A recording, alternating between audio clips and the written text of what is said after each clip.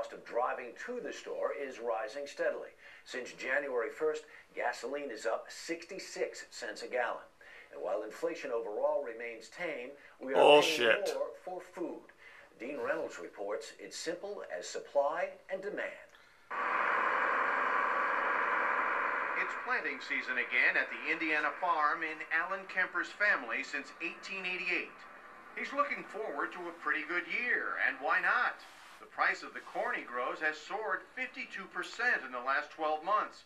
The soybeans are up 45%, all thanks to big demand from here all the way to China. So We're in a global society right now. The, the need for food and protein is increasing.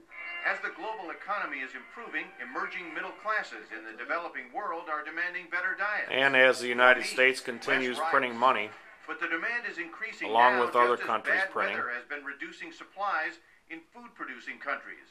Add in the rising cost of fuel, and you have a recipe for higher prices at the grocery. add in Ben Bernanke and his helicopter money, Than I have been before. TARP, QE1, like. QE2. February saw the highest monthly increase in 36 years.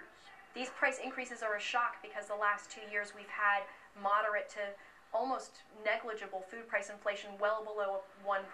But now the Agriculture Department estimates a 3 to 4% price rise in all food this year, enough to ruin your appetite. Pork up 6 to 7%, vegetables up 5%, eggs up as much as 5.5%, milk up 5%, and beef a 4.5 to 5.5% price hike. So as I look on this list, nothing is going down. Nothing this year is going down. That's correct. Chicago butcher Bill Barnheisel says that kind of increase turns off his customers.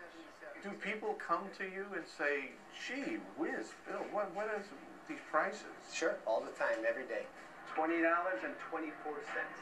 If that price keeps getting higher and higher, you know, we just are making less and less money. What makes this even more painful is that while prices are going up, consumer wages are staying flat.